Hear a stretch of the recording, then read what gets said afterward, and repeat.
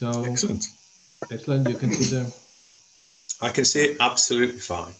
Thank you. perfect. Okay, over to you, Mark. Okay. Uh, well, thank you for the uh, introduction. Uh, I'm happy to be here. As uh, was mentioned, we're going to talk about psychological functioning uh, with a particular focus on hostile environments. And we're going to talk about stress as a concept. And I know with CoCreate and the previous webinars which I've seen, we're trying to build up a, a sort of a webinar information that people can look back into and watch the recordings and find things about. So, any questions you have going through this, please just put it up in the chat bar and we'll get to them. Hopefully, I'll be able to answer them all. If I can't, I promise I'll get back. Uh, I'm going to go probably, possibly touch on a few subjects we've already talked about because I like the continuity of what we're doing to show that it's not just burnout here, hostile environments there, a bit of post-traumatic stress disorder, that it's it's all entangled and wrapped up, and actually we can learn from little bits. So I'll touch on other people's uh, webinars, but only only briefly, and I'll try and focus on mine. We can go to the next slide now, please. It just Here we are. Ah, there we are. Excellent. We're going to have to keep doing this now because Christoph is my able helper. Uh, a bit of my background, why I should be talking about this, or you know why it might be of interest. Uh, I worked in the UK in the National Health Service, uh, as most people in my background did, and I trained as a counsellor and a psychotherapist primarily. And I worked, specialised in working with child and adolescent mental health, and I worked in particular with violence. Uh, and from that, I grew into volunteering for uh, Médecins Sans Frontières, uh, and I went there immediately after the tsunami uh, in Indonesia. Uh, a bit of time in Banda Aceh, which is that everyone sort of recognises, and then I went to a different part of the coast where I spent six months training with two colleagues, trained uh, eight local psychologists in post-traumatic stress and how to deal with it. Uh, did outreach in lots of communities, put them in the clinic. And when I came back, I became independent uh, because I had this background now. Uh, and I went to work for uh, various companies specializing really in violence, trauma, and the effects. I have a slight specialism in critical incidents, so terror attacks. I've worked in London, Kabul, Brussels, all over uh, in response to terror attacks in the last five years or so. Most of the places you've heard about, I've uh, probably been engaged with. Uh, and I also train people who go and work in these areas, in particular uh, humanitarian companies, NGOs, international NGOs, but also conflict journalists. So I, I suppose as well, I, I don't just train in the UK. This is slightly more unusual. I actually go to hostile environments to train in there. So I've been a long tour of Gaza, been into Iraq, Lagos, lots of places where people can't actually come out because they can't get visas. And so I'll go there and train there. So I have a, a sort of experience and an academic experience about this. A bit more about me is as you'll see as we go through, I love anything that's outdoors, particularly sports or walking or anything like that. Social occasions. This sort of as a social occasion where I get to speak to people and, and get ideas and learn about things and I suppose that's what makes me click is I'm fascinated by how we respond and what happens. So that's a bit about me. We'll move on now uh, to the next slide, please. So why should we talk about this? Uh, because people who work, work in humanitarian fields are susceptible. There's increased clinical levels of things like depression, anxiety, post-traumatic stress disorder, uh, as one might expect, but also that importantly, this doesn't go away. So when you finish and you go home, you can start a completely different job. This stays with you. It's been shown that the clinical effects are slow to dissipate.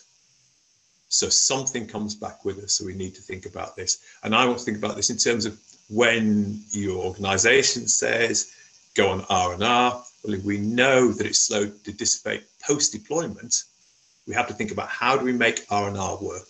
How do we make something that's happening in the middle of what we're doing work better. So we'll touch on ideas like this and I'll give you hopefully some strategies for that.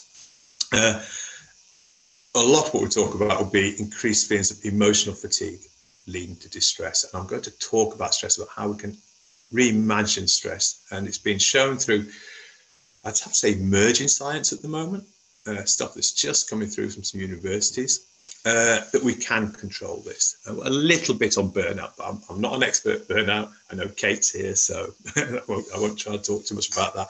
But there are some ideas about what might help us and will help, hopefully, when we leave, we'll leave with better emotional and mental health and we'll recover quicker. On to the next slide, please.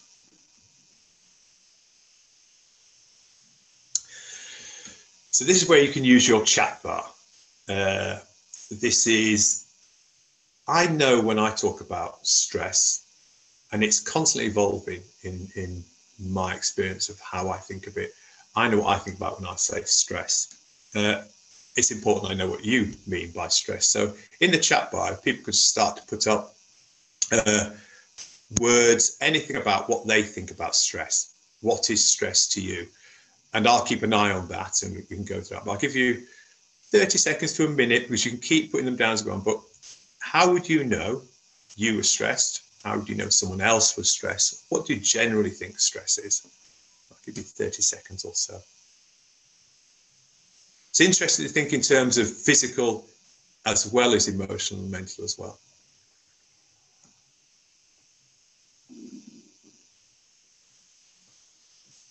One of the reasons I uh, I use the athletes, of course, is because that this is taken from the Olympic Games. They are under huge amounts of what we would describe as stress, and yet if you look at them, they look very relaxed. And so I'm interested in how they do that. If we go on to the next slide, I'll come up with common answers that I get. So just, just keep clicking through and I'll, I'll tell you when to stop as it comes up.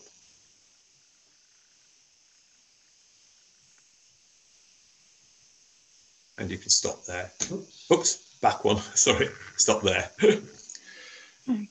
so these are the, these are the things that I that I get. These are the things that people talk to me about, and I can see some of them coming up already.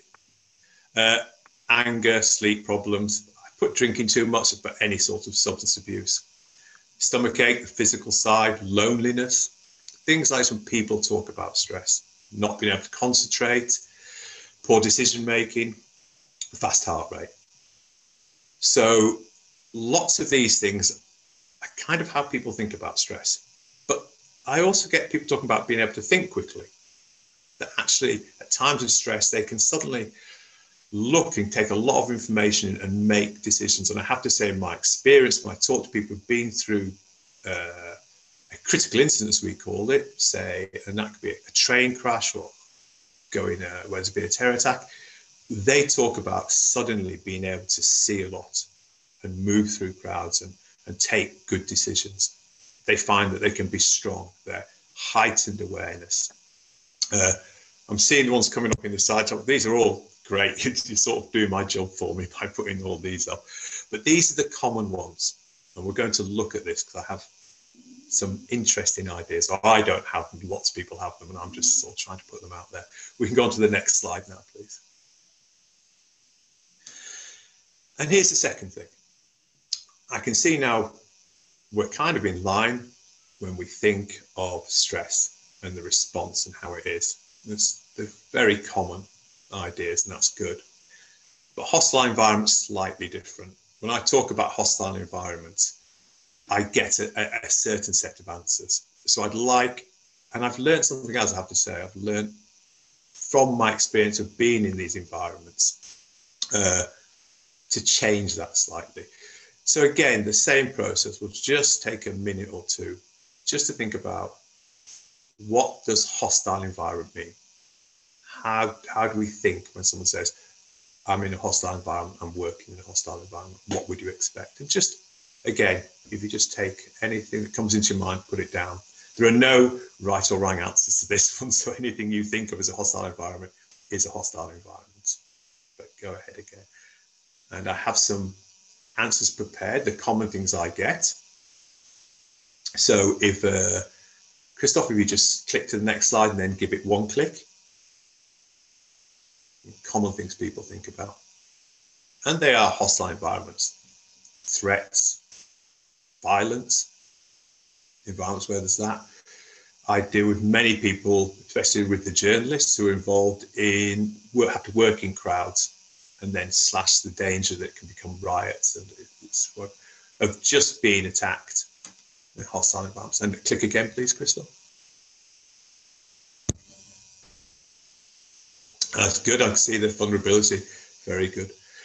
War zones conflict, classic ones where humanitarians might work, where Médecins Volontaires, where I worked. Uh, anger, danger, these things come up. And again, Christoph, please. I've just, yeah, we'll go to come to this. I've just seen some of the answers that are really good coming up here. The unknown, fear, remote, you know, people work in very remote places, uh, terrorism, and once more, Christoph. And it's nicely timed where uh, Gossi has just put this up hostile environment, uh, head office, meetings, harassment. And I think this is one of the things I want to concentrate on because very often I get asked to come and speak to people about hostile environments. And because of my background and the nature of the organizations that ask me to speak with them, there's a, a sort of perception that what we're going to talk about is the top three on that list actually one of the most stressful places, uh, or hostile places to say, had high levels of stress in there as well, uh, was in a head office in Washington for a major media organization. I was speaking to journalists in the office because they were connected to the ones in the field. And it was very hostile. You know, their, their responses were all the things we, we brought up with the stress about fear, loneliness, nerves, feeling physically sick, so actually, it, the hostile environment is our perception. Any environment can be hostile. And I will suggest that sometimes people who work in fields where it might be considered dangerous, they get used to that. People are very resilient and they can tolerate it because they come to understand and expect it. And yet they go home and say R and R afterwards and something comes with them, and then they can find things hostile. They can find just having to work in an office for a month or so incredibly hostile. Deadlines, all the things that raise the response, the stress response. Being in an environment where you're harassed, where something's going on, there's low level bullying and harassment. That's a very hostile environment. And the reason I want to kind of push this is because the results are the same when we're thinking about stress, anxiety, depression, that clinical risk, your perception of an environment as hostile will have a similar effect. And I, and I really push this with, particularly with the media organizations I work with and humanitarian organizations, that they can't just focus on the field, as it were, a better word. They have to think about the organization as a whole because it can be incredibly hostile especially, and I hear this quite a lot, when people come back from deployment and they come back and they don't get the support. They don't get listened to, or they come back with an issue they want to talk about and the organization doesn't want to talk about it. Incredibly hostile. We can move to the next slide now. That's, that's a very good one about the silence becoming hostile too. I uh, I worked with someone who worked in uh, the Ukraine and actually said when it went quiet, that's when he panicked. When he could hear the artillery, he knew where the artillery was. He knew what was happening. If it didn't happen, he got very worried. So you can get used to it. We're going to separate stress before we go more into, into things you've probably heard about. Uh, the two kinds, basically. Uh, and I'm going to think about acute stress. And acute stress is quite a lot of what I deal with. It's the experience of witnessing confronted with a traumatic event is an easy way to understand it. And it tends to happen very quickly.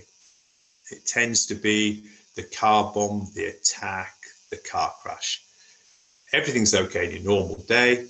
You're thinking about maybe what you're going to have to eat later, and everything changes. And you get a big rush of adrenaline, and the heart races, and that heightened awareness comes in. And that sudden massive reaction, acute stress. Post traumatic stress reactions are quite common. Actually, when I go and meet people uh, after an event, say armed robberies, I used to deal with a lot of armed robberies, but things are so secure now, it's a lot better. Very normal. The biggest role I have for 97% of the people is helping them understand the normal reaction to an abnormal event. So acute stress, though it, it feels powerful uh, physically, emotionally, mentally, actually in some ways is is okay to deal with because as human beings we're very resilient and we can deal with that. It's not pleasant to go through, but if we go and and allow people to understand what it is and to use their own their own tools and to help support them with outside, people are pretty resilient at this. So acute stress, though it's the big reaction, some of you may have had this. Uh, it's actually okay to sort of deal with. And I think organizations are putting good mechanisms, good strategies to help people who might, and are very vulnerable to this if you're going to some of these places, actually will be really looking after their staff very well. I have to say, maybe controversially, coming from my side and looking in, I don't see that a great deal. And I, I know there are genuine reasons for that. But I would also suggest there are more that can be done. And I talk with people about that. And it's not because organizations don't want to help. I understand that. It's sometimes I think because they don't quite know what to do. But that's that. If we go to the next slide, we'll talk about the uh, sort of stress I'm more concerned about. And just click once more. There we go. I think here, Chekhov summed this up very well. Uh, and if someone someone gave me this. I didn't find this. I didn't read Chekhov and go, oh, I'll use that in my talk. But it's true. We can face crises. We're, we're resilient. We have done this genetically. Our code is strong for this. That's why we're here. That's why we weren't eaten by the bear. What we're not good at is the day to day living in a hostile environment, whether that's again in an office, at home where you're having a relationship problems or issues, in an area, an environment that is dangerous. The grinding down, the same effects that come from the acute with the adrenaline, the not sleeping, but on a much sort of smaller level where you're normally functioning in a normal way, I'd say about three. An acute might take you right to the 10. A cumulative, you might be at five or six. Uh, but you function at that without noticing it because it becomes normalized.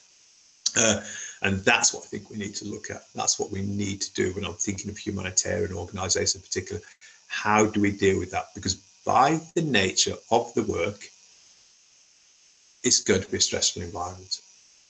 Most people, where they go to work, and again, I'm going to come back to this, even if you're just doing fundraising, if you're fundraising for an organization that is going to, say, Yemen and providing water, you know the importance of what happens. You see the pictures, you get read the stories, not being able to get the money. How am I going to do this? That drip, drip, drip of a deadline. Did I organize this? Did we get donors in? Did I do that right? It affects everybody. And I think this is a, a big thing that organizations need to look at. And I know Kate, I just think in burnout, and we think very much the same about this. In fact, lots of people I, I think think about this and we think it's an organizational, not self, I'm going to say this, it's not self-care, it's organizational care. Self-care is just one little bit that helps along. It should be wrapped around with more care. But we're going to talk a bit more about stress, and I'm going to try and give you some thoughts and ideas that hopefully will start to change how we think about that. Uh, and this is, like I say, this is oh, one thing lockdown and, and the pandemic has done is given me time to get back to looking at research and to actually talk to people. And people are surprisingly open uh, when you just email them and say, I'm thinking about this. Would you mind answering a question? So, what we're going to talk about is a bit of the feedback that I've had, the things that people have told me. I have references for all of these. If anyone wants them, I will put them everywhere and I will put the people I like and what they're doing down. And I suggest you can go and hear it from them as well because they really are experts. But let's go on to the next slide.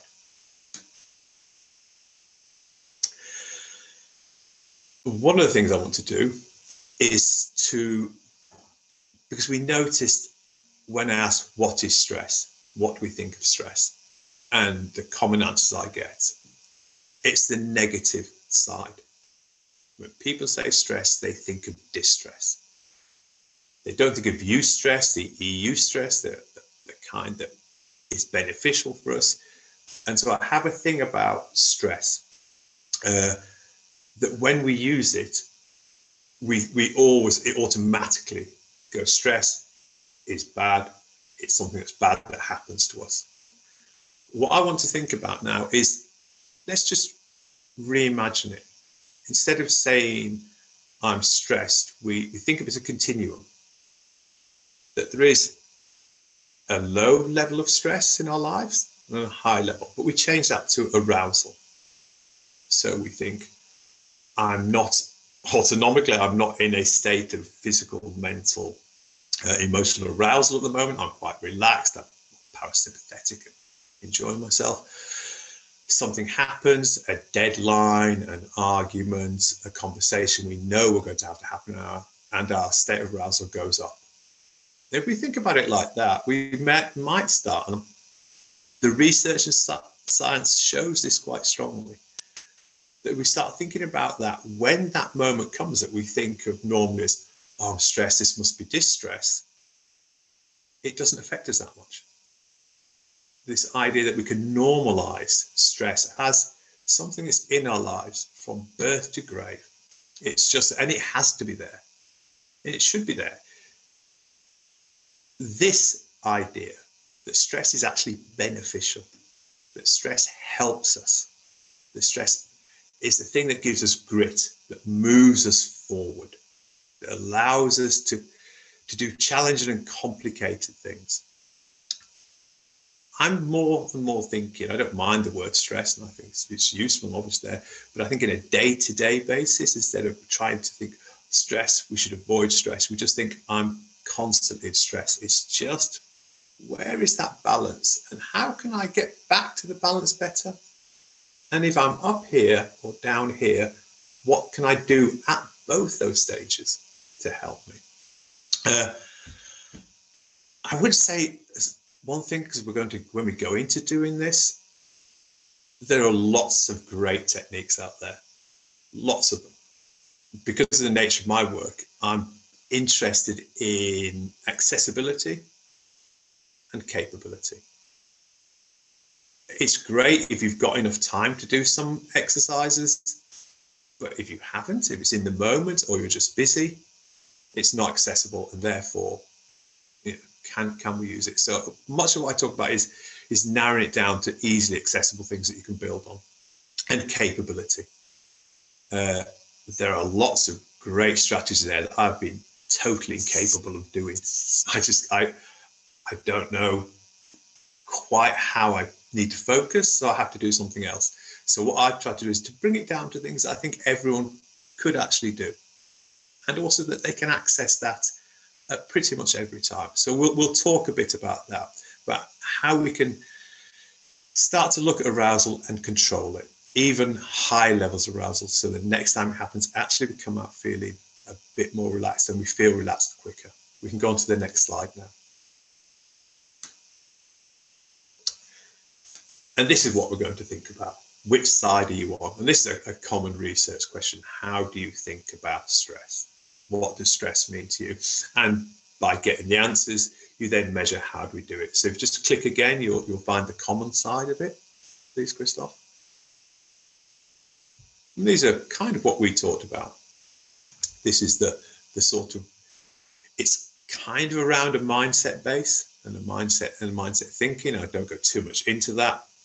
Uh, I want to keep it simpler. We're not really talking about a mindset webinar, though we could. Uh, but this is based on that idea. Uh, it's, it's, also very much based on the research that comes from this. And the research, if you want to go and have a look at it, look at a thing called the social stress test, which is a, just a 10 minute talking in front of an audience test. It is so stressful for everybody, even experts in the field find it stressful. But it's also been shown if you change the way you think about what's happening, it actually changes the outcome of the stress, how people report back after it. It's still not a hugely pleasant experience because it's, meant to be stressful and it's, it's not physically damaging, but it's a lot of pressure. But actually, the research shows just reimagining what stress is, thinking in terms of arousal and using that changes the outcome about how we feel about it. And not only that, it prepares us for the next time. And we're going to talk about this a little bit about neural pathways, how we start to manage our neural pathways. So when we come up against challenging events, our mindset, our thought process is now enhanced that we don't have the particularly negative side that we think about, the negative outcomes, rather than negative stress and negative outcomes of high levels of arousal. And we'll talk a bit more about that. If you just click again, please, Christoph. And so this is how they put it basically. That it enhances, enhances productivity. It improves health. Stress can improve health. It's quite strange because if we look at, I think Helen, I can't, I've forgotten now the quote was right at the beginning from the godfather of stress. Uh, was stress is bad. And that was done with animals. And it, it kind of kicked off the whole idea of, oh, look what happens. Look what happens when we put them under stress. Why are they physically responding really poorly to this? They actually changed that round and said, oh, actually, I now understand that stress exists. We need to learn how to control it and manage it rather than avoid it. But it definitely facilitates learning, facilitates growth, and it can be positive. But we have to start understanding how to manage it. Because I'm not here to say that stress is, is not damaging at, at all you know, the evidence is solidly there that your physiology changes, your mental, emotional, and physical health changes when put under that level of pressure, especially constantly. It just happens. I'm more thinking about the reimagining. Can we kind of push that back a bit? Can we make ourselves more resilient, want a better word? But in at no time, I want to be quite clear. I was saying that all stress is good. We're going to be fine. We should, if that was the case, I wouldn't be talking about it. We just ignore it because we'd be doing great, but we're not. I just want to talk a bit more about the little things we can do to change that around, along with the other things that other people are doing. So we go on to the next slide. Okay, this is primarily aimed, I mean, everyone should do this, but I'm going to talk to you as a humanitarian group. Uh, and I know that we have a wide range of everyone, very experienced uh, humanitarians, psychiatrists, but we also have students. This works for everybody, but I, I kind of wanted to come back to it. Uh, and I'm going to touch on lots of different little bits when we talk about this. But what I would say is understanding your purpose understanding what's going, why you are doing something, define what your purpose is. And this does change. That's why the third one down says present purpose. But what is your purpose? As a humanitarian, what is your purpose? And this, I'm, I'm doing uh, some side work on trying to develop training for national staff because in the training I do, they don't get much of it. And that's that sort of disparity annoys me is a, a, weak word for it, but if I'm uncomfortable. And so I know from reading the research uh, and talking to people that if I'm a national staff and you know I think about what my purpose is, it could be as simple as it's a good job. It helps provide my family. My my role is to provide for my family. So that's why I'm a humanitarian worker. For other people, it could be for me, I suppose it there. I woke up uh, of course, I've got my life behind me and my thought process, I think, but I, I can pretty much remember waking up and thinking, I'm at the point in my life now where actually I, I think I've got enough skills and I think I need to do something. So my purpose was actually to say, I've been very fortunate. My purpose is to go and actually try and help somebody else in a I worked for the NHS with you know, children that love. I wanted to do something else. So my purpose was really to get out there and try and hopefully share these skills. That was my purpose. Tune into your purpose, and that's so you can define it, but then really start to feel it. How does it make you feel? What do you do when you think about it? Where do you want to go with that? The emotional side of it, not just, oh, this is what I'd like to do, but how does that make you feel? What's that? What does that sort of dig into you? What does that touch you? Because that is important. That is the thing that will help you go through when things are difficult. And write down, write it down. Don't let it be an abstract thought. It only has to be a little paragraph, a vignette. Write it down so you can look at it and come back to it. Because under pressure, it will be challenged. We will move. And there's, we could talk a bit now about moral injury and purpose and humility, but knowing and understanding that your purpose and importantly, the role you play in your organization. It's very easy to find the pressure of always having to do something and work harder and push to just say, no, my purpose is to do this. This is what I want to do. A really good practice to keep you going is to journal this. And this is for humanitarians, it's for everyone but for humanitarians. This will keep you going when things are hard.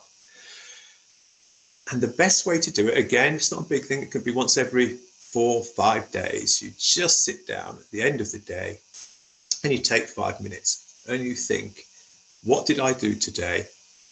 And how are they in line with my values, my, my, my purpose, what I want to do? Just, to, and it doesn't have, you could feel you did nothing that day that was grand.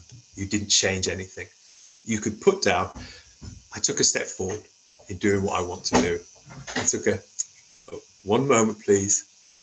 My, my little daughter's arrived back and I need to explain to her that I'm busy and I'm doing something. Just go, go in the bathroom. The other one, please, Ev.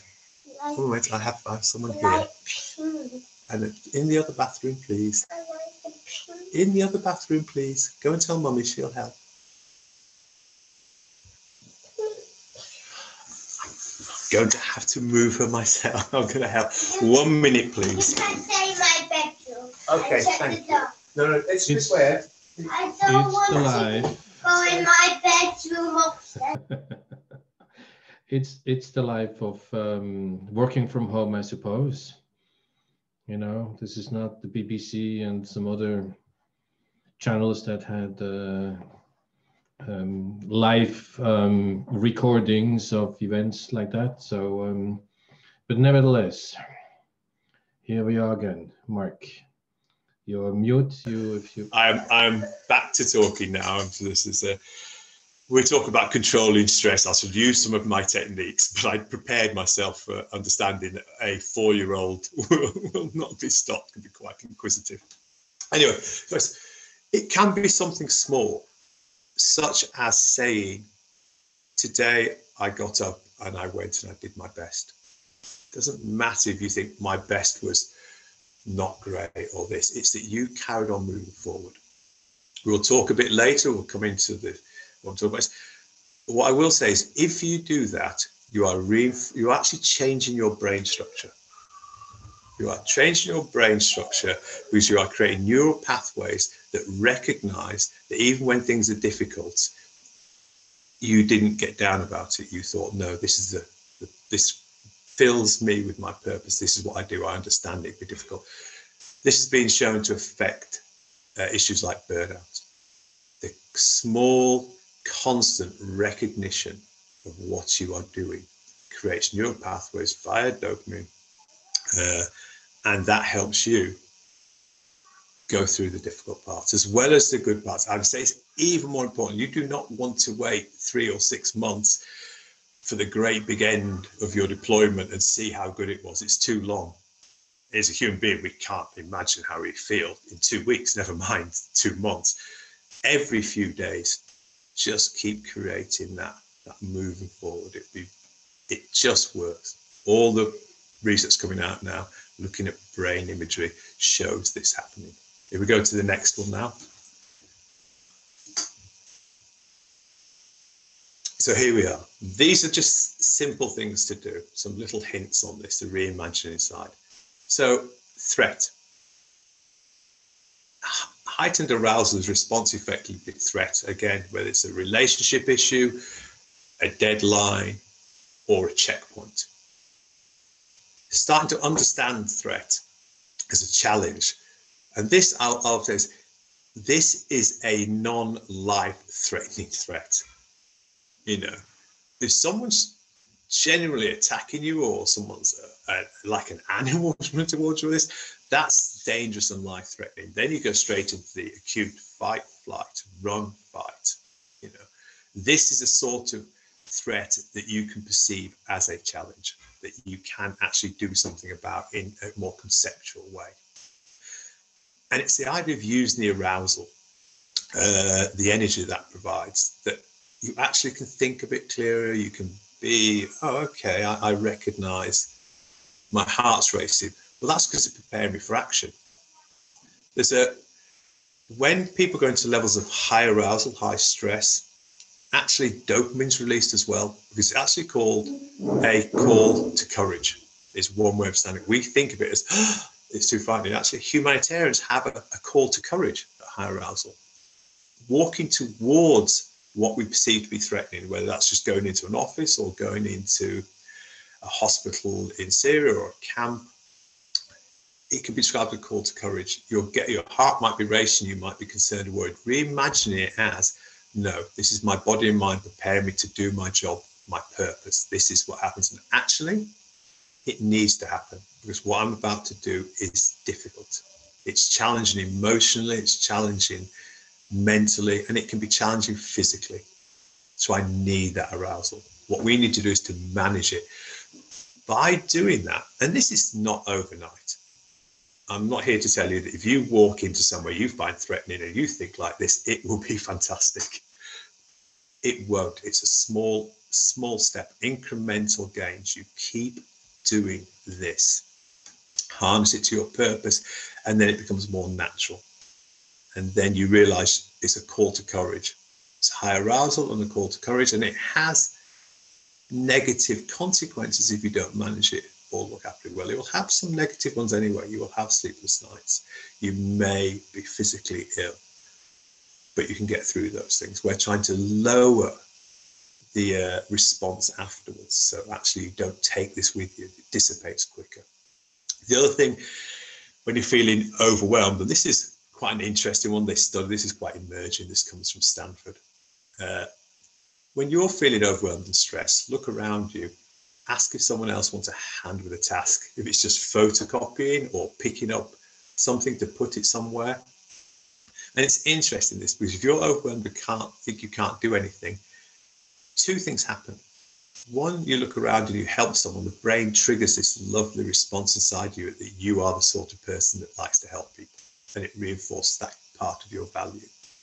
So you get that reward. It does the dopamine trick again because you've felt stressed, you've done something good, so therefore the cue and the outcome have changed. It's a good habit. What is also kind of fascinating is someone says thank you for doing that.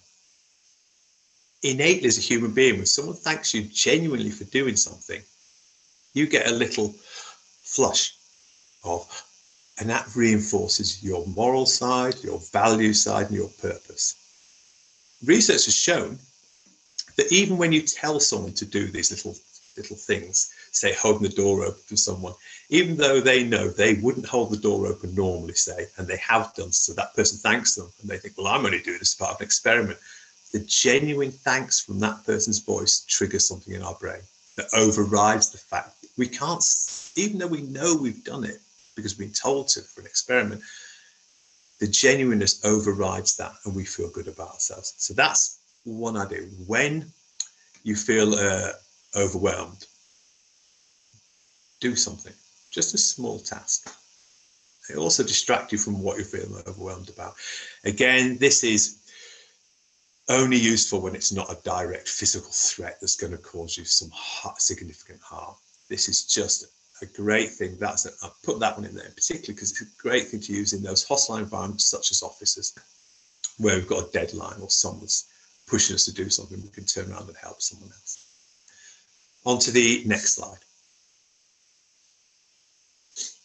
And this is what we're talking about. I'm only this is as science as it gets. It started out quite sciencey, and then I thought actually it doesn't need to be that sciencey. People can look this up themselves, and I can give you the names of the people I look look up, and, and you, they're very generous. These great neuroscientists who are just out there trying to make their clever lab science into things that we can use. Uh, but it helps create habits helps break bad habits by actually doing something different. It creates the plasticity of the brain, the neural pathways. It's not as good as when we're babies we're super young, but we can do this. And we can do that. So dopamine is what we're looking for. And it makes uh, environments less hostile. Dopamine suppresses cortisol. One of the reasons for state of high arousal, you walk towards something, more dopamine is released. It's bringing down the stress hormones. We have to recognize that. That will help us. So if you want to learn more about how all this, just start looking up dopamine. It's kind of thought of as a reward, but it's I think it's a bit more complex. Dopamine is the thing that makes you work through difficult things. It's the thing that makes when you hear about people, how did they keep going to invent that? Why didn't they stop? And actually look at how they think. Dopamine's the that's the pathway they were building. That's what they were using. And we can use it too. If you think that sounds a bit too, would it work? This is why Facebook, Twitter, Instagram are so big. Facebook, the user, oh, was it, what's it just user experience CEO, whatever, a few months ago apologized, said, I feel incredibly guilty about what we've done because they used the concept of the dopamine pathways and how to get people to want to see what was going on. So people went back and back and back and clicked into it. This is what they use to do that. We can use it as well in a small way to do what we we want to do. For instance, I think it's it's uh, I think yeah, Facebook. When you put something down on Twitter, they don't give you all your likes at once. They work out the patterns of how often you look at it, and then they might give you one, and then make you wait five minutes to give you three, and then wait 20 minutes to give you 10. And it keep and this actually, that cue reward, cue reward, it's why you keep on going back to it. So here's the thing turn your phones off at night. that will really help you. On to the next slide, please. We're going to go because I, I keep an eye on the time as well. I can just see it ticking slowly down there, and I want to touch on some things. So I want to give you some strategies now. Finish off with some ideas about what I think are really accessible uh, and work really well, and why they work. And we know lots about deep breathing uh, and its benefits. When I think of it, I want to think of things where we have to, we're at the door to go in to have a difficult conversation or hear a difficult story, where you're, you're approaching a checkpoint. You've done your security training, but it's still quite nerve wracking because who knows what's going to happen. And so lots of people know the deep breathing. And so it, it does this. This is a, a shortcut, as it were. And I explain a bit about how it works uh, because we talk about another form of breathing, which you'll know about. But the, the thing to do is you take a big, big breath. So you sort of feel your lungs filling up. When you think you can't take any more, hold it and you take another little bit of a fill through your nose and do that three or four times. And what's happening is it's it's that sort of thing that you see when people cry, for instance. When people do it in their sleep, where it's that, and they're taking another one. What it's actually doing is it's triggering the vagus nerve, which works on the diaphragm, which is a wonderful thing, which you'll all know about. People who meditate and stuff like that. We can't control our heart rate. That's not working. We're not, let's say, have some adrenaline. Diaphragm, though, oh, we're, we're good to go with that. We can control that. The trick to this, the thoughts coming from this, is this is coming from this is coming straight from the emergent side of uh, one of the labs in Stanford, is it's actually about controlling the CO2. That second one pushes the air sacs more open and it gets rid of CO2 and your CO2 levels and your state of arousal, ergo stress, but state of arousal, are closely linked. It's one way people look at seeing how aroused or stress people are is to measure their CO2. So this is just a quick way of clearing out, just a physically quick way of clearing out CO2. That extra one pushes the air sacs open a little bit and pushes out the CO2. And so you're getting rid of CO2 quickly. And if you're doing that, it's a bit of a sign to the rest of the system, oh, okay, it's relaxing time. The other clever little thing about it is once you start doing this, you are now telling yourself, I'm about to do something. I'm taking a deep breath. You add that to it's a challenging situation rather than threatening situation because you're doing all these little things, they start to become automatic. And all of a sudden, you start to build up a backlog of times that you did simple little things, you took control of what you could, and you came out of it okay.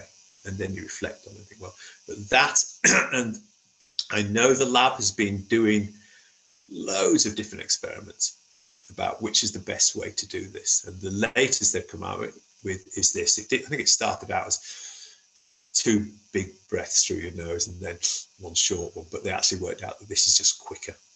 And that's what it is. It's about being accessible. This works. I've set up all the things that I've started to do. This is the one that I kind of like the most because it's just like that. But that's the base of it.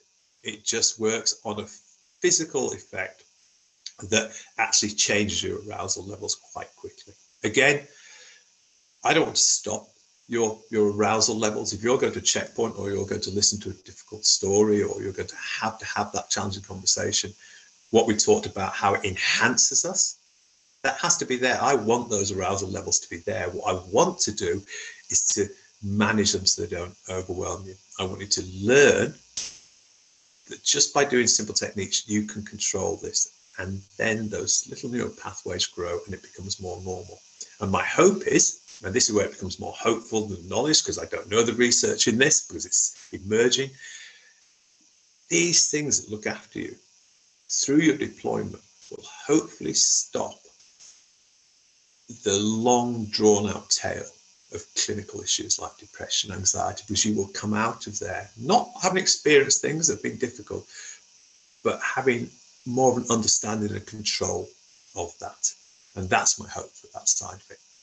I've sent my thoughts off on this and I'm waiting a response uh, to the lab saying, would this work for humanitarians if they did this in this situation? So hopefully they might come back and say, that's, that's pretty interesting. We'll look at it. If we go on to the next slide now, please. So here we are again, box breathing. We all know about box breathing. There's lots of different ways to do it. I'm going to come up at it this way. And the reason I'm coming at it this way is because you want to see people who are good at remaining calm. Uh, you want to look at people who do things like free diving, who go deep, deep underwater. Because as someone said, it's actually not the, the lack of oxygen that's really painful, it's the too much CO2. That's what causes this, the high anxiety. It's not, I haven't got enough oxygen, it's got, I've got too much CO2. That's why you're taking more oxygen to get rid of the CO2 because it's creating a stress response, a high arousal. So everyone does box breathing, in for four, out for four, or you get different patterns. Uh, actually, the way you breathe in and out kind of changes. You can go to arousal and down. And there's some very clever ones where you do lots of fast breathing to bring your arousal rate up and you practice that. Again, I want to talk about something you can take away. You can do anywhere at any time, sat in your office, before or after a sort of a challenging time. And this is about managing your CO2 tolerance. And the really simple way to do it is you just time it. You take three normal breaths through your nose, just very normal, and then one super deep one. Get your little phone out, or if you've got a fancy old stopwatch, and you've got your little stopwatch on, and you just slow, slow, slow as you can, and you time it. That's all you're doing, you're timing it. If you stop, if you go and stop, that's your stop. Not, oh, I didn't mean to stop. If you pause, that's your stop. You can do it again and again, don't worry, it's not, it's not a test. Normal people in a normal level of CO2, not too stressed at any time, between 30 and 60 seconds. That's how long it should take. That's your CO2 tolerance. And it will change week to week. If I did mine now, it would not be as good as it was two hours ago or in two hours' time because I'm doing this and I'm talking a lot and breathing and I'm like thinking a lot. If you're doing that, just do the box breathing. Do it five, five, five. Five in, five hold, five out, five hold. You can do it through your nose, that's better. Through your mouth is as good as well. Some people have things with their nose and they don't breathe well through it, so don't worry. If it's lower than 30 seconds, you're just at a time where your tolerance isn't that great. Do sets of three. If it's above 60 seconds, sets of seven. If it's above 60 seconds, you are in fine physical shape because this is sort of the athlete's level of CO2 tolerance. But even theirs will change. So that's the two things the physiological side, the breathing, and this box breathing. There are lots of other ways, but I just want to give you something simple, and explain why it works and why it's good just to keep doing that. Every two weeks, I'd recommend for, for, for testing it. Once you've set it, just do it. And do this anytime you want. We'll go on to the next slide now. Time. We're going to talk a bit about sleep and we're going to bring them all together. Uh, everything we do is now, I'm going to think of, comes through our eyes. Uh, and the uh, part of our eyes is actually part of our brain. It's not a separate thing that's connected by nerves. It's actually part of our brain, the neuroretina. This is getting a bit beyond where I am, but it's very linked into how the people think about breathing and threat and stuff like that. Really important because it tells us about our body clock and how we wake up and go to sleep. We know that if people want to say, How can I improve your life to anyone, not just humanitarians, but anyone? I'd like to be a bit more alert and calm, uh, and I'd like to sleep better. Eyes are really good and vitally important to doing that. And I'll, I'll explain a bit more if you jump through to the next slide, please, Christopher. Christoph. It's about rhythms. It's about how we activate our body clock. It's, and where we've got genetically, we've been going for a fair while now. Our bodies change very slowly because they're pretty good at what they do. So this is this is just a very simple task. Again, you can do this anywhere. This doesn't require special training or anything. What I'm going to suggest is do the breathing. If you want to do breathing exercises, do them when you do this. It enhances everything. Sunlight, sunset. And again, with the phone, if you want to have a little test of this, you can get a light meter as if you were using a camera. And you can watch and measure the difference sunlight around sunset and sunrise. And it's different. Do it outside.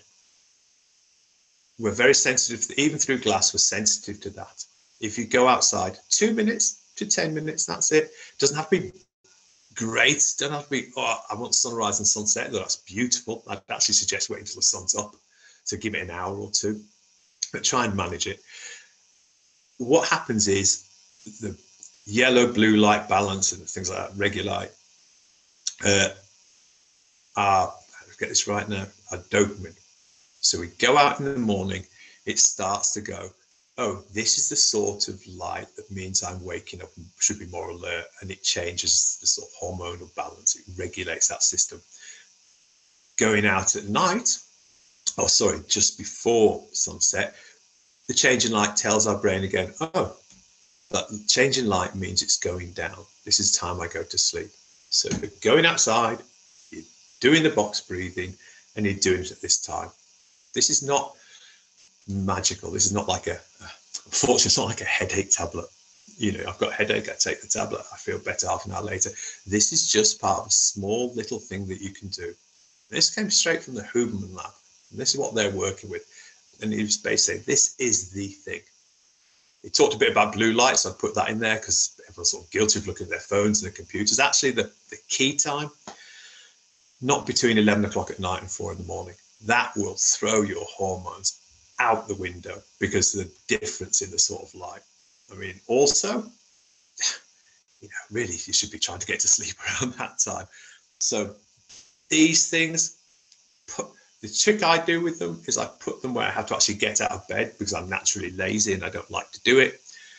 And I put it somewhere else. So if it does beep, I can't bother answering it. I do have a different sounding beep for messages that I have to answer because of my work, but I don't have it next to the bed because I just hear a beep and I wake up and I look at it and bang. That's my brain has suddenly started to, even if I fall back to sleep, it's changed something. So these are simple things. I mean, that's 11 o'clock till four in the morning. I think we can manage that. And this is what I want to do, bring it down to that. Uh, if we go to the next slide, so I'm quickly looking at the time and I do want to get done. This is it. In the exercise, if you can, and I could do this, and I was thinking about times when I've been constrained with where I am, places in, in Kabul and in Iraq and places. Outside, don't look at your phone. No matter how relaxed you might find it, this is narrow vision. And narrow vision is when we're focusing on something. And so it has that slight arousal mismatch. You do a thing called panoramic. Uh, and it's, it's as simple as this look at something in front of you. Now try and take in everything without moving your head. So you just look ahead. Now try and see the sides. What happens is your eyes open slightly, you'll feel them. Panoramic. Once we're looking at things around us, it sends a signal to our brain that nothing's there. We're not this, we're, we're this. It's a much more relaxed system. Just another little thing. These are constant little things that have a physiological change, which I'm interested in. If you can walk around, spend that. You've done your three, two, three minutes of breathing. You want it's nice. A bit of walking around. This thing called optic flow, the way that if something's coming towards us and it's getting faster and it's a lion, our arousal rates go up, fight or flight time. Strangely, it's shown EMDR is kind of like this. If you're moving towards something just gently and you've got that big wide vision, our brain registers things going past. It also tells us that we're moving towards things and we're aware, but we're not under threat. Optic flow, uh, which I had to admit until six months ago, I'd never heard of. So I'm just following the research as it's coming out. But I was cycling yesterday, gently, nothing too much, just enjoying the day. And I thought, this, I get this. That gentle process of moving through space and time, things going like this. This is, and I thought, this is why I like cycling. Not the mountain biking crashing downhill, which is nerve wracking, just the gentle cycling along a promenade next to the sea or down a country lane. It clicked. Just another small thing. Uh, jump to the next slide, please, Christoph. I'm noticing we're coming down, so I'm going to go through this. Simple thing to do, link to your purpose, matching your rewards to efforts. When I talked about don't wait till the end of the deployment to say, didn't we do a great job? It's too far away. You have a lot to go through. That bit of stopping and saying, actually, today was okay. I didn't achieve this, but I went in and tried, and that's all I need. Or it might be to the team you're working with, we did well then. Yeah, we got where we needed to be today. That was good. It doesn't have to be a big speech, just that knowledge. It's a simple thing shown this thing about marathon runners. They'll tell you how do you run a marathon? What's the first step? Put the shoes, but trainers, sneakers by the door. Next day, get up, put them on, go out. Next day, run an extra half a mile. Build up like that. That's not the secret. That's the physical way you do it. The secret is recognizing I put the shoes by the door. My purpose is to run a marathon, not I'm running 26 miles because you ain't going to do it and you'll feel bad. The door. The next time you put them on, you go out for a run. I put the shoes on. I'm moving forward. My purpose. That's all it is, and it amplifies the system. The dopamine is clicking in. I did this. It did this. I feel better reward. Cue, stimulus cue reward, stimulus cue reward, stimulus cue reward. Much the same as I'm from the UK, as you probably guessed. Talk to people in the UK after a hard day at the office. Oh, I'm to have a glass of wine. It's a very common thing. Actually, if you think about it, why? Why wine? Is other things you like to drink and taste more? Why not them? It's because we've we've got the cue, stress, stimulus. Wine's what I do. It's one of the hardest habits to break. And I have friends who work in the field and they say it is really difficult.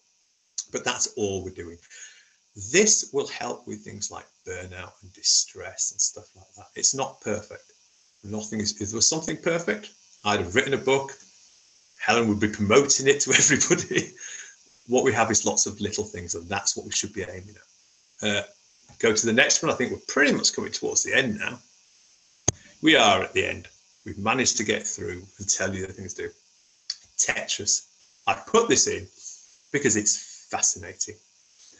Uh, and this is a sort of, I just like it. That's what I put it there. This is just a more high end thing, but it's coming out with a big piece of research all over now. But it started at Oxford, and journalists told me about. And it's about dealing with actual difficult memories. And it started out with post traumatic stress disorder and really big memories, but now they're looking at, at doing that. And go and read more about it because to go into is I'd need a whole thing here. But it's fascinating how doing something so simple as playing the game of Tetris can reorganize how we store distressful memories. And the evidence is flying out that it actually is lowering those symptoms. And I just really like it that we don't, well, in some ways, I'm kind of challenged after all the money I've spent on trying to educate myself and do stuff that Tetris is better than me at this. But I like to put it there. Definitely go and read it, and you'll see it, and it's beautiful. It's about how they play it within six hours. You play it for 10 minutes, and you do it before you go to sleep. And it's just that it's accessible. Everyone's capable of playing Tetris. You don't even have to play it well, you just have to do it and the way it affects how we store memories. There are other ones as well, but I kind of like the Tetris one because I like Tetris. But that's my final slide, and that was kind of to back up everything else to say we don't have to overcomplicate this. Oh, uh, six, within six, I'll just see that question. Six, uh, six hours of what? I'll go back over now. So what they would do would be, if I remember correctly, the first group, because that's when I, I sort of picked it up, uh, they get people to go through the event or part of the event because people can have layers of difficult events, but the event, the memory. Uh, and, and, and they thought about it to go through it. Uh, and then within six hours of that, this is the, and there's lots of studies now that have moved it around for different people, six hours of going through the memory, of reactivating the memory, play the game.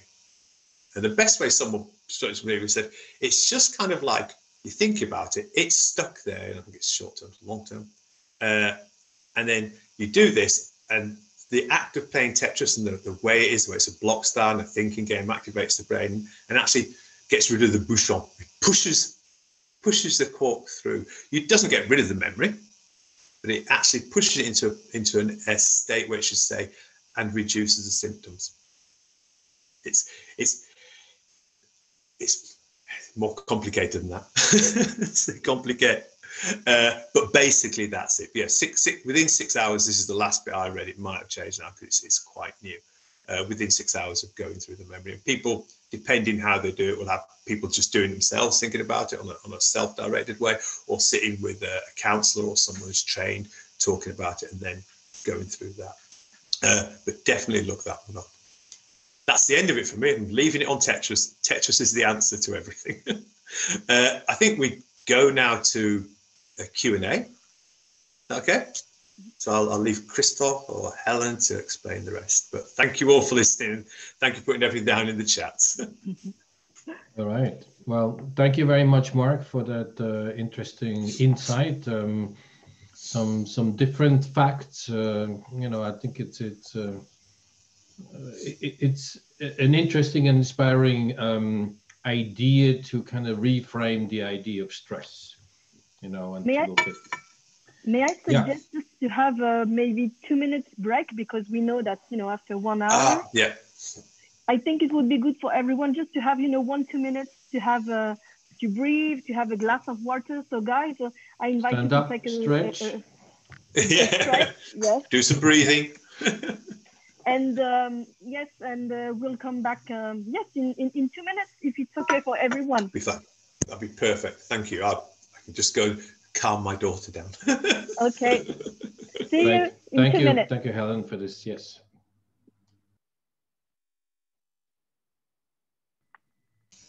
Hello, I'm back. Welcome back, everyone.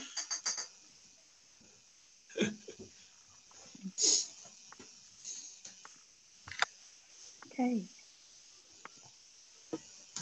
Yeah, Mark, it's fascinating. Huh? Wow. I'm really impressed.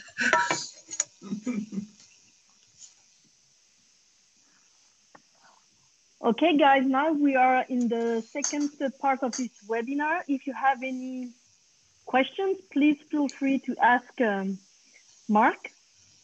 Don't And- be shy. You- You also have the chat box, so you can go ahead. Uh, what I'd like to say is, uh, if you want to, people want to think within how they feel comfortable uh, that oh, I experienced this when I was there, or this is happening, or how does that, and it can relate to an actual incident or how they are. What would you think about this, or how would that help? I'm, I'm happy to sort of broaden my my experience, and hopefully, they don't just have to really narrow it down on this. They can sort of think broad with them, and I'll try and see if I've got any ideas for that. But I'll do my best. Mark, I just have the same question like Stephanie. Uh, can you explain or might be show us what is this uh, box breathing? Uh, it's not so clear for me. okay, that's that's yeah, it's absolutely perfect. So box breathing, uh, and there's it's called box because it's this is quite nice when you uh, back to the old days of having a big whiteboard in front of you because it goes in a box. Just to think about it as going in a box. Uh, so it's a, a process. So a, a, a tip would uh, be to take a couple of deep breaths before you start. Just open your lungs up. But then you could go, and you can do this mouth or nose. It's it doesn't make that much difference. There's this concept of what happens in your nose, the, the nerve endings there. But if you have a blocked nose or something, don't worry. So I'll just do it through my mouth, just because it's the easiest one. and That's what people can access. So you just go. For me, I would. I'll start. So you want to know about how you make work your CO2 tolerance. Okay, I'll, I'll actually just show you by doing this. I won't do the whole thing because you don't have to go through the whole thing, but I'll go on to stopwatch. There we are, stopwatch. And so I've got my stopwatch up, and I would go, I would just be like, okay, I just want to go.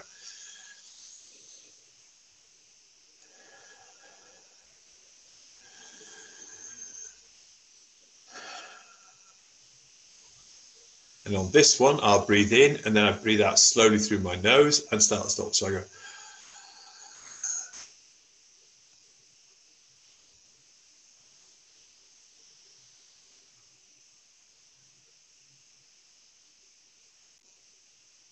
And then when my lungs are empty, I just stop and look at it. And whatever time I have on there, that's my what is called the CO2 tolerance. That is how much I can express from some deep breaths through my nose and in what time.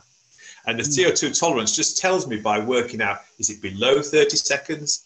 Is it above 60 seconds? Where I am in my arousal state. Because CO2 is closely linked to measuring our stress state.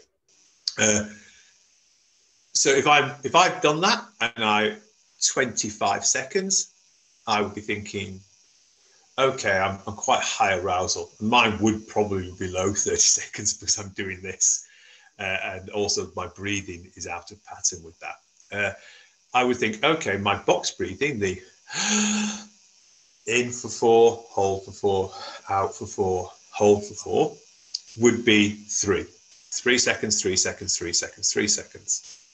Between 30 and 60 seconds, five is good.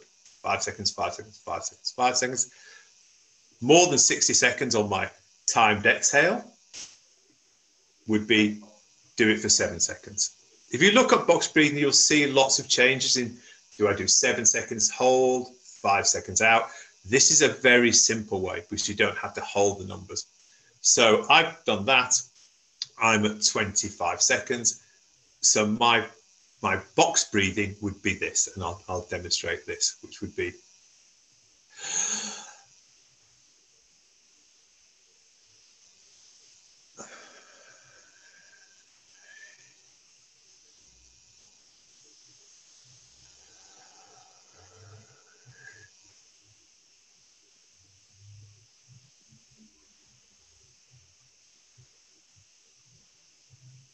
Very simple. Breathe in for three seconds, hold for three seconds, breathe out for three seconds, hold for three seconds, repeat. And you can repeat that four, three, four times. This is the beginning of when people get into much more meditative stuff, where they start to do the breathing, and then you can get some. You can do this with some more body relaxation, where you could lie down and clench one fist, clench another, and do, or you can go online onto Google and you will get you download a little MP3 where people will guide you through it. I did it. One I did before I read about this uh, was very simple. It was the same thing. I just did it for five seconds randomly, uh, but I had someone on headphones just talking through breathing, hold, clench one fist. So there's lots of ways out there, and it's if you're doing some nice controlled breathing, pretty much not a wrong way to do it. I'm not saying this is that and they're all wrong. What I'm saying is this is why this is good because of CO2 tolerance. This is why I like it because instead of being four seconds here or seven seconds there or whatever, it's very simple and you can measure it. So the state you're in means you can change it. So one day you might be stressed and thinking, I'm a seven second box breather. I can do that. And suddenly you find out it's really stressful. You think, no, I'll just test myself again. Oh, of course, I've just had a deadline and worked hard in this in the field for two weeks. No wonder my CO2 is not great. I need to just give myself a break. So that's why I like it because it adapts with you and the state that you're in and where you are. So I hope that people understood that. Yeah, yeah, Mark. I mean, I, it, it makes sense to me that okay, breathing has an influence on on your body and how you feel stressed. Yeah. The thing which I don't catch on is what, what's the CO2 tolerance thing? How does that? What does okay. that mean? Uh, and this is this is this is the the clever science bit. so I'm, I'm I said emerging with myself. Well, it's based on the, on the which and the, the, the old science is old. It's, it's not like hundred years. It's not real science. It's psych science. It's new. Uh, it's by measuring CO2, the amount of CO2 in our systems. It's closely linked with our state of arousal. And so you'll see a lot of studies if you look at it. If you put in CO2 and stress, you'll get a lot of research papers. And there's some uh, there's some particular ways of doing research which I don't know about because it's not that's not part of what I'm interested in and what I do. I was, I was interested that oh the uh, oh someone's put the Wim Hof in yes uh, it's uh, I was interested in the fact that as we know, our state of stress or arousal, heightened arousal, is closely linked with the CO2. And releasing CO2, flushing CO2 out of our body, uh, is linked with lowering arousal, just on an automatic level. So this is an automatic. thing. We open those sacs, we get more oxygen, we put more CO2 out. It tells our body, oh, we should move from sympathetic parasympathetic systems. We need to go back to rest and digest. Very small way. Uh, and so what I was interested in was one, how can we do that quickly? Uh, and the Huberman Lab showed that actually the quickest way to do it is the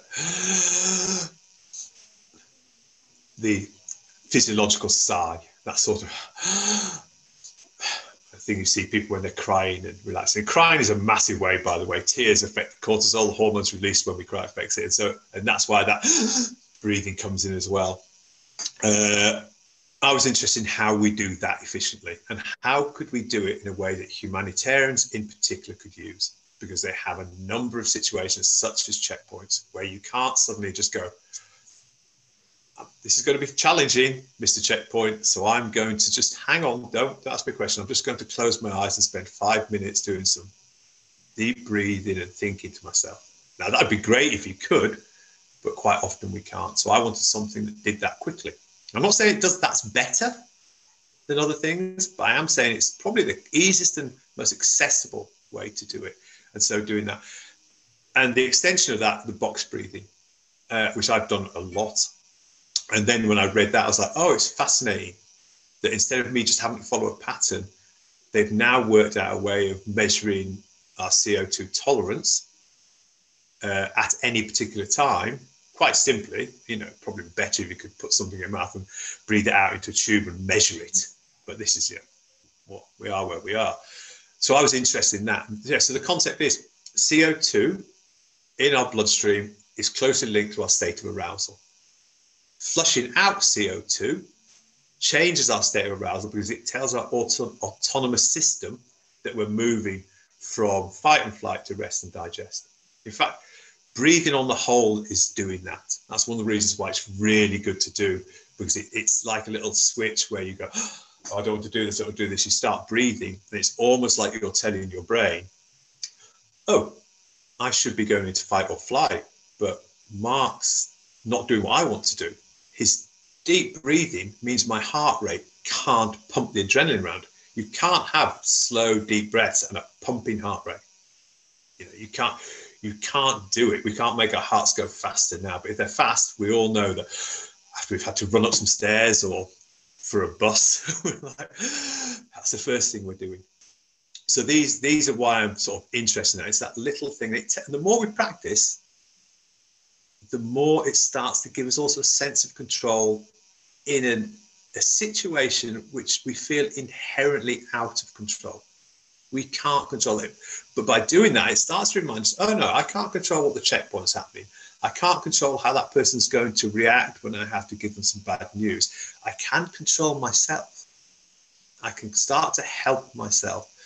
And actually, the more I do it, I'm getting a nice, quicker signal. This is what I do when I'm actually taking control. And that's not perfect, but it, it fits into the enhancing rather than debilitating idea of stress. I hope that helps. Yeah, Emily, you had this question. I hope that clarifies it a little bit on how that links with the managing stress. Cool. Yay. any any other question, anyone? Mark, if I can just, uh, uh, oh, sorry, Anthony, sorry. no, go ahead.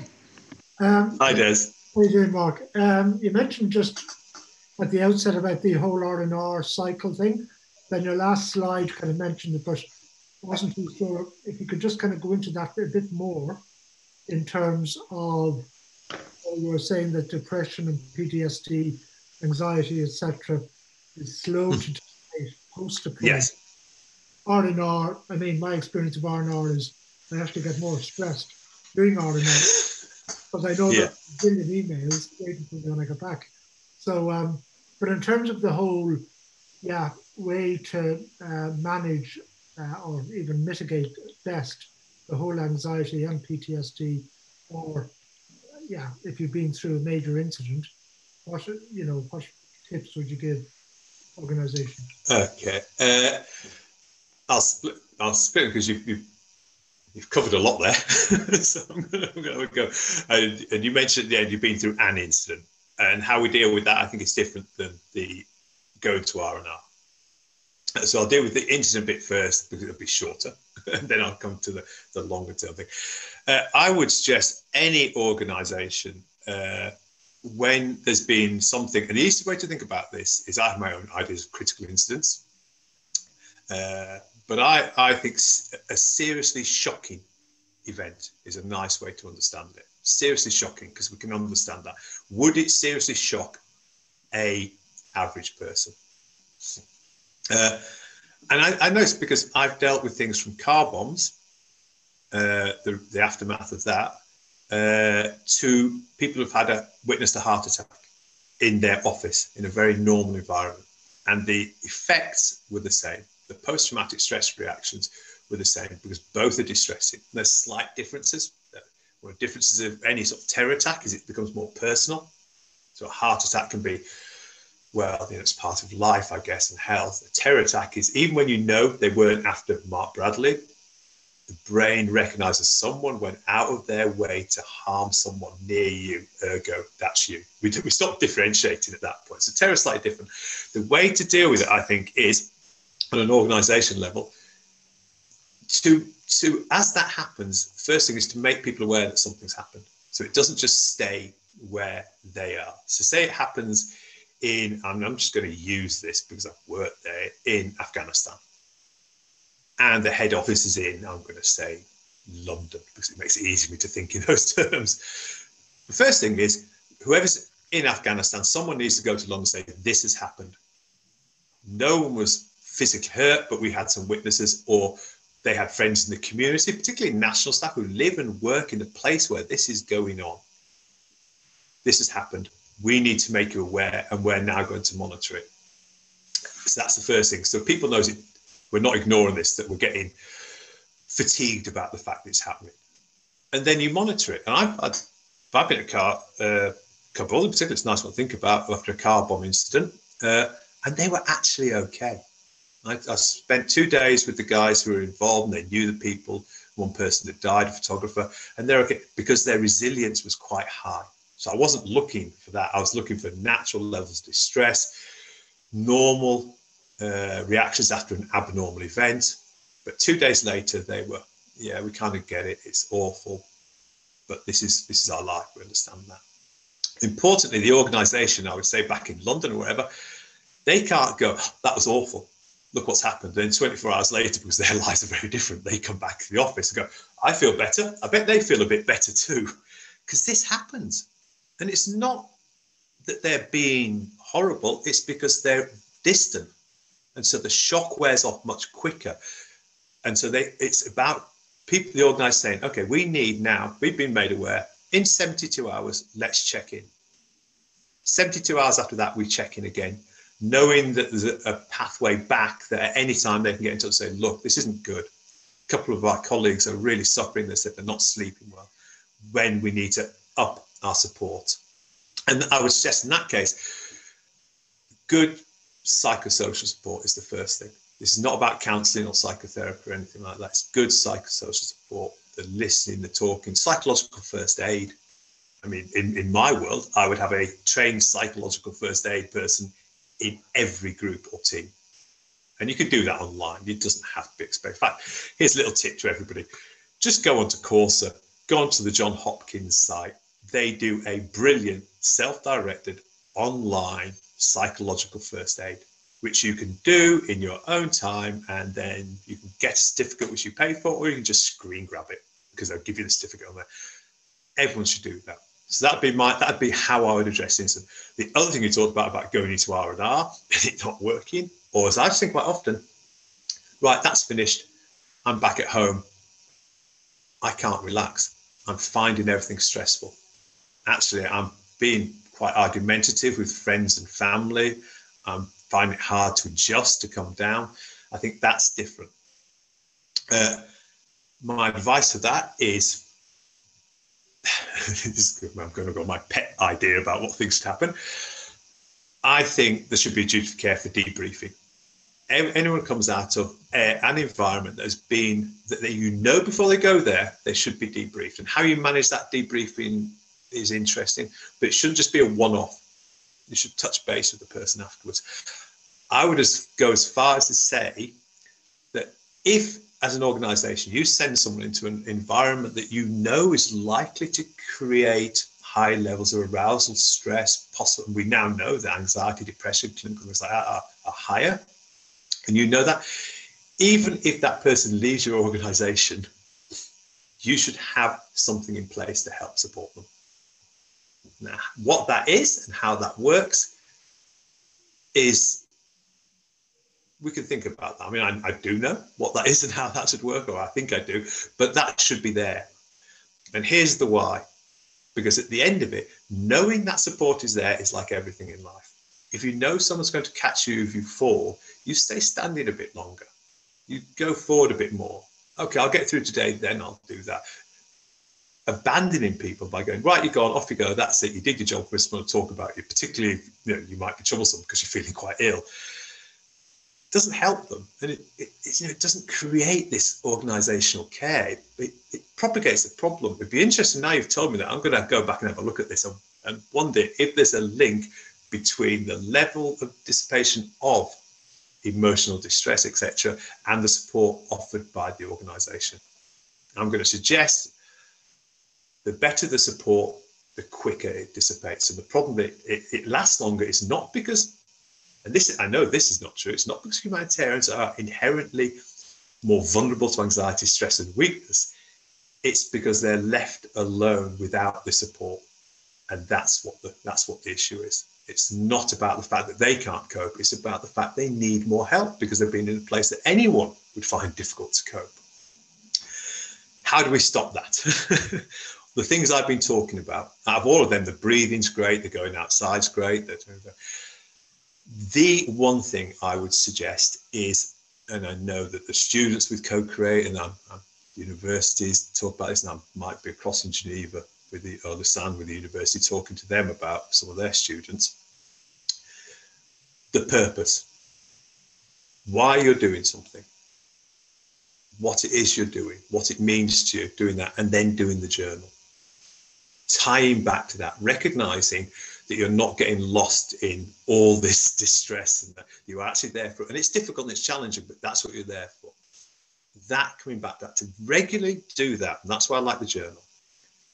Adding in that those small little rewards of today I got up and did a difficult thing because I, my byword when I do the uh, hostile environment enhanced courses where we do this to people now is humility. One thing I've learned for myself is humility. By understanding that you might go somewhere, spend three, six months, a year, and leave, and the situation is worse than when you arrived. As you arrive there thinking, I'm going to change, it's going to be better, you're setting yourself up for a difficult task if you think I'm going to go there because this is these are my values and I'm going to try my best and that's all I can do. And if I leave, that's what I want to leave with, knowing through the ups and downs, I kept on trying. That will protect you from and things like moral injury, that will help you with that because you're going to come up against that. So that's what I would say with that purpose. There should be a whole pre-deployment session on purpose. Write down your purpose. Think about your values. Here's your little journal book. Do it, do it, do it. And of course, you could reflect on that. You get to your R and R. That was a hard month. Let's look back at the journal. You know that was hard, but we did all these things. And I understand about arousal, the call to courage, and moving forward. I can go on my R and R now because I've been thinking and reflecting on this throughout. This is not. I've held on. I've held on. I've held on. Right, I've got 48 hours off. What am I going to do? Well, I'm going to go to bed. I'm not going to sleep well. I'm not going to be able to stop thinking about the fact I have to go back to somewhere that's not quite difficult. So that's it. But it's it's such an organisational thing. It's unfair, I think, to ask the individual just to do that themselves. Yeah, yeah. that's just right. too yeah, hard. Yeah. yeah. Mark, yeah, there we I go. Wanna, I just want to quickly read a comment here that's been uh, posted by Caitlin. Um, I think Ah, what's hi, did you see it? Did you see it? Huh? I've just seen know. it, but I know Caitlin from. I think what's really pertinent is more and more results are showing that there are longer term impact of poor mental health on aid workers. So a debrief is kind of useless. You're still pumped with adrenaline and you don't have time to look back and see what happened and how you felt. Also, PTSD symptoms can take longer than two weeks post mission to show up. So I agree, Mark. Duty of care should extend at least six months post mission, if not longer. Okay, th- thank you, Caitlin, for challenging on all those things. Uh, Caitlin's got some great stuff, and I have to admit, I've, I've read the stuff she does, and I love it. It's informing the work that I'm doing on the side about organisational stuff. Uh, I'll go to the easiest bit at the the end. Uh, I, in, the piece I'm writing for organisations, it's uh, post-deployment. Even if you leave the organisation, there should be a level of support for six months. That was the, the exact amount I put six months. And if you're still within the organization, it should just be ongoing. It should, it should not be, oh, you've been, there. it should just be ongoing because I think this case, I, I, the worst case of post traumatic stress disorder I ever had to help deal with was 22 years after the event. And that person had led a normal life, had a job, family brought up, and it was like that 22 years so I, I agree exactly but i think at least six months after you've left an organization support should be available and i know there's cost issues in that but i also know how you can do that without that being excessive uh, mental Just health one- yeah sorry Yeah, yeah, yeah. Just one more question you put further down here. Uh, I know you have a background and interest in positive psychology as well, Mark. Do you have Yes. suggestions of additional interventions that you believe can be helpful for aid workers? okay I'm going, I'm going to come to that because that's that's one thing, and we touched on that. But I'm actually going to ask thing about the debriefing thing as well, the pump for adrenaline. Yeah. Okay, that's go why. I specifically said about uh, with Des 72 hours after 72 hours because yeah, I mean psychological first aid, great straight after an event and this lot. But and I use the word debriefing actually. It's, I just use it a random word because there's lots of different ways of doing it. I think psych, uh, sort of I agree with that. Why the adrenaline's flowing through you and has dissipated, very difficult, very scattered. After two that's the time I think you should start some sort of psychosocial support. And that is really, and I start at the basic level of not clever counseling or anything like that. That is really at the level of a conversation, of an understanding and listening process. So yeah, I kind of agree with everything Caitlin said there. I just wanted to clear up what I meant about the debriefing side. But I'll go on to her uh, positive psychology uh, bit. I, it's more for me. It's more of a, an interest. I like it in techniques, and I've, I've looked into it because I've got a particular interest in shame, and hence I, I touch on more moral injury every now and again. But that's a whole other webinar. Uh, and uh, the, the and I think concept, and I touched on that when I talked about that uh, being overwhelmed to being, it said hopeful, remember, it should say helpful doing that. And that's based loosely, but kind of around the idea of, of gratitude, small acts of kindness. Well, sort sorry, kindness, I'll talk about gratitude in a minute. Small acts of uh, kindness, random acts of kindness. Just, I feel overwhelmed. Okay, I can do this. I'm going to look around now and try and help. And that's linked into that small acts of kindness and the, and the, the way that that reflects on us when someone says thank you uh, in a in a genuine manner. Uh, so I, I, that's one thing I do is is don't just focus on what you perceive your role to be as. For me, well, I'm a psychologist. That's what I do when I'm on I'm, I'm on deployment. I'm going to do that. You think that's what I do, but I'm also a human being, and to protect those bits of me that are away from that, I need to help with the team and do little things. And that can just be as simple as saying, does anyone, would anyone like some water? And everyone does this. I'm going to make some coffee. Who'd like some coffee? Let me get that. Or someone's really busy. I'm going to wash everyone's cups up because they've all been left over that because they're busy. Small, random acts that are achievable that we can do. If we're waiting to do a big grand gesture, we could be waiting for a long time. It might never come. Much better we do the small ones. So for positive psychology, definitely be looking at uh, small acts of kindness. Gratitude. Uh, I like the values journal because it fitted in with the purpose idea I was thinking about. But uh, an idea of keeping a, a journal, a gratitude journal, uh, where we we just every few days write down something we're grateful for. I mean, I do this all the time. It's so ingrained in me now. If I walk outside and it's raining, I think, "Oh, good rain." I like the countryside where I live and it needs rain and the farmers must be glad that it's arrived. If I walk outside and it's sunny, I think, oh, great. I love it when it's not rain, it's nice and warm. I look for, every day I look for something to be grateful for, something small. Not because that in some ways has a massive effect on me. It's because, again, if I'm waiting for the big thing to happen to make my life great, it, it will happen because I generally think big things happen to everybody that are really good. I'm an optimist completely. But I could be waiting a long time. If I remind myself that the world is full of small bits of joy, uh, and I remind myself to be grateful to be in that situation, that is what will keep you going. So, but you, ha- I think about it and all that lot, but I don't write it down in a journal anymore. But I do think about it at night before I go to bed oh, that was good. I'm glad I did this. Oh, that was great. Or you know, my daughter came running into the room and actually I found it amusing as well as stressful. I'm just grateful I could feel like that. That's one thing. On a longer thing, and I know running out, I would, I would, if I was doing the things with moral injury and looking at shame, I think self-compassion. Look at some self-compassion exercises. Look at how we look at ourselves and how we behave and how we judge ourselves. I think that is and I think in one area, I think it's Gilbert. Was Gilbert? I'll get the name. I can't remember. Uh, he's written a book on compassion, which is brilliant. But self-compassion, how to understand, and that really that helps us with things like shame, where we just feel that we're not good enough, and we come away from a mission we we haven't done well, that we failed, and look at this.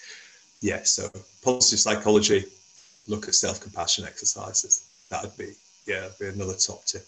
Caitlin, Caitlin will be able to tell you lots about this because she's very good at this. Yeah. Thank you Um, for the questions. They were good. Yeah, Anna Denise, you you wanted to say something before?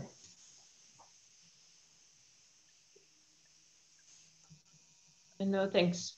No, okay. I thought you were you, were- you meant to say something. Sorry if we interrupted you, but um, anybody Um, else? A question from Stephanie in the chat box. Um, maybe, Mark, do you have any suggestions for a couple of uh, helpful books to take with us on the field? Might be useful, surely appreciated. Uh, okay, uh, da-da, have I, have got one book around here that I, I, I'm pleasantly reading? Uh, yeah, this late, and, and lots of these people, uh, and I like this sort of book. It's soft, it's soft science, so they they give you where the research papers come come from, but they digest it so you can do it. Mm. Uh, but lots of these people, one thing I would say is lots of these people do lots of really good podcasts. So you can actually listen to them. And lots of them are on Instagram. Well, I'm, I'm amazed at every now and then that I get on Instagram and go, I only follow a few people on Instagram because I can say, ask them a question and they're fascinated by it and they come back.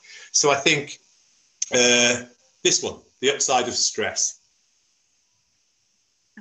Oh, okay. that that the upside of stress. And uh, one reason i'm going to suggest this one is because it has lots of things in it where it talks about stuff gives you the research behind it uh, and you'll be able to read about the social stress experiment which is just unbelievable.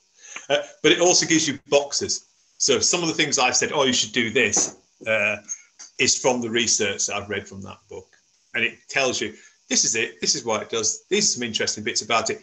Here's a box at the end of the chapter do this.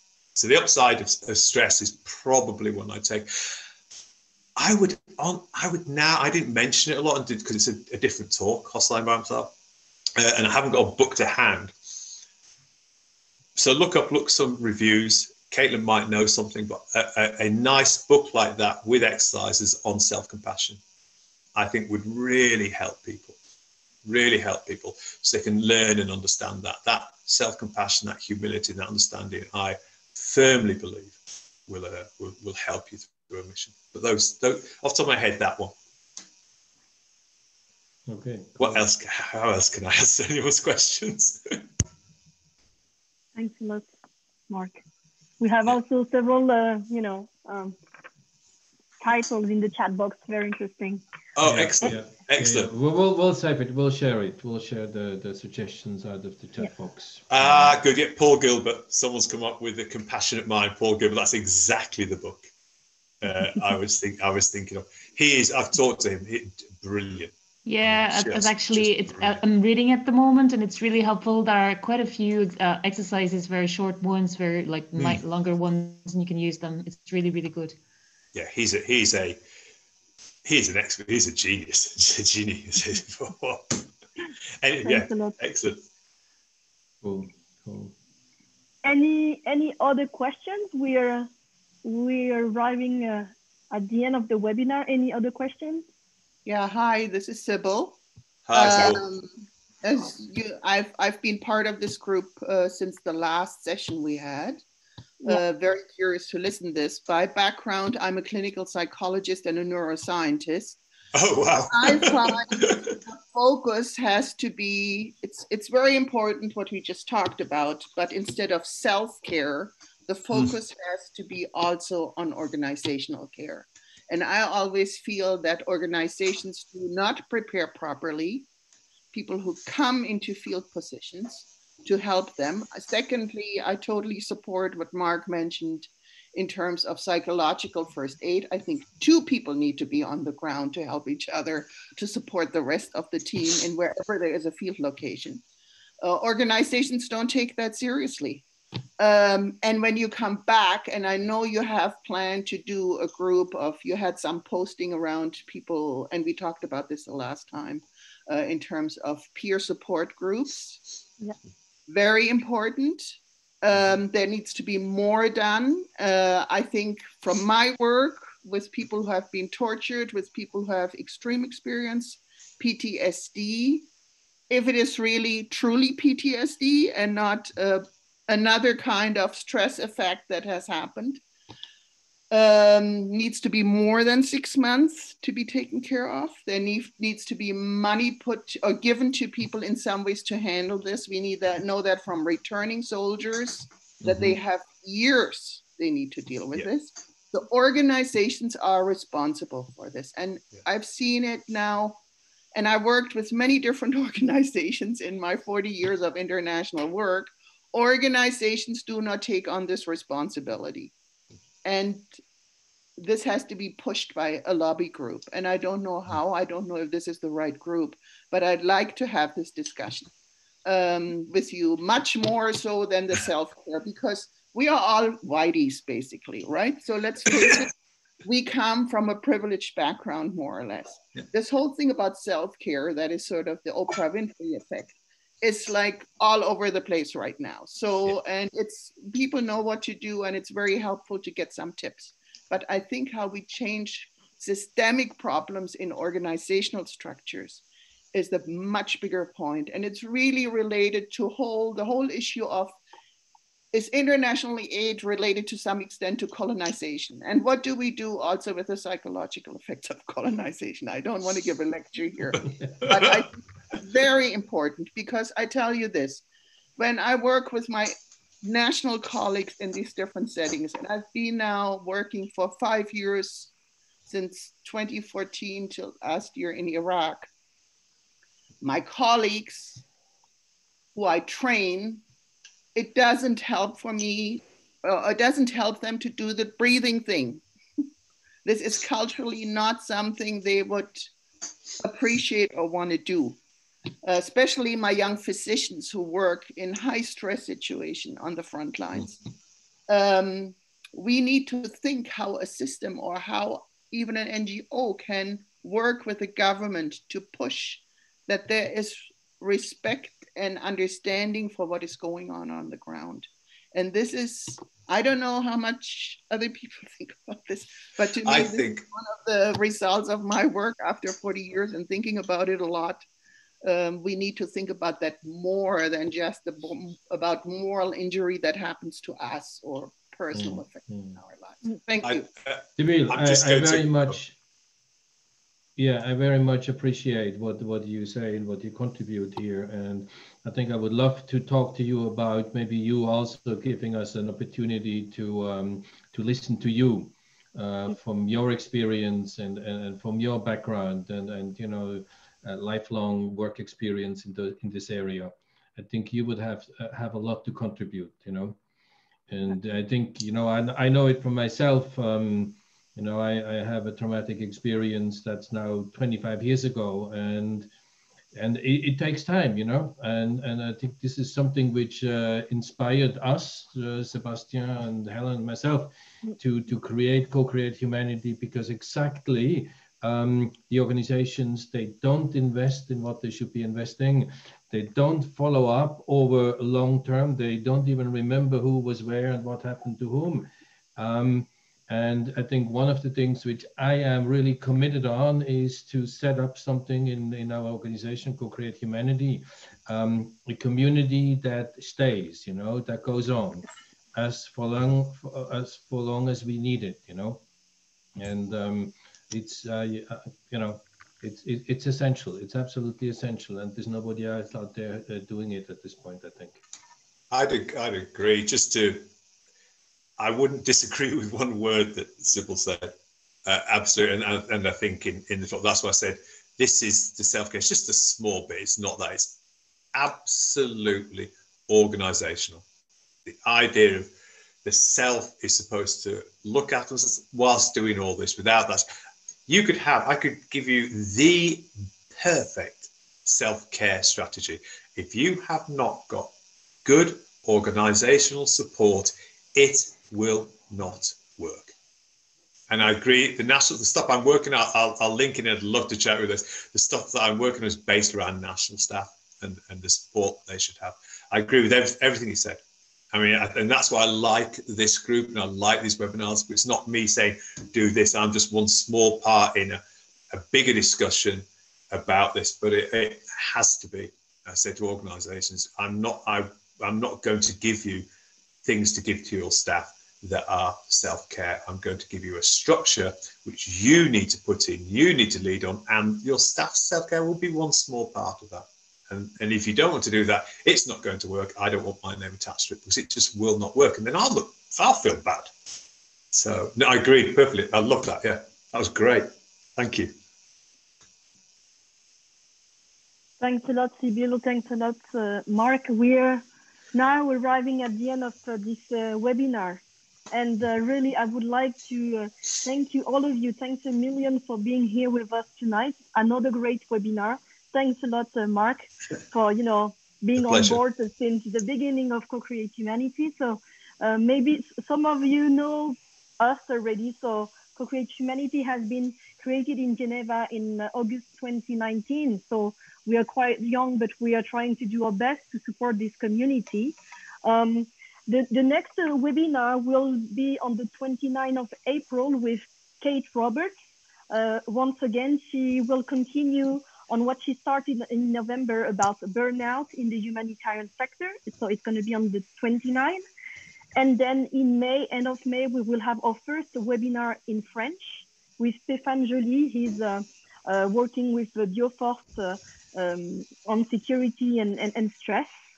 And uh, in June, before the summer uh, break, we will have a very interesting webinar with uh, Professor Alain Brunet from the McGill University on uh, the reconsolidation therapy uh, and how it could uh, treat PTSD in the humanitarian sector.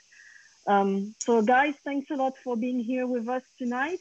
Um, as Christophe said at the beginning of this session, we will send you a survey just to ask you how it went and if you want to have any other topics to be raised up by, by CoCreate Humanity. And we do insist on that CoCreate Humanity does exist because of humanitarian workers and for humanitarian workers. We won't be able to do the work without you. This is really important to spread the word about the existence of this, this community because all we are doing here is, is really for you. And as Christophe said, yes, we started an international um, recruitment uh, to get some peer support specialists. Um, Lynn, thanks a lot for your for, for your application, and we, we received uh, uh, some more, and Des, of course, and other people. So we will get back to you very soon. And uh, please spread the word about us, and and thanks a lot for being here tonight, and take care. Thank, Thank you all. Million. Thanks a million for Thank you all the questions. Thank you. Thank you. Bye now. Bye. Thank you. Mark, we're staying a little bit